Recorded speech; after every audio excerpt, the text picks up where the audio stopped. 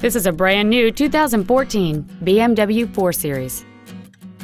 It features a 2.0-liter four-cylinder engine, an automatic transmission, and all-wheel drive.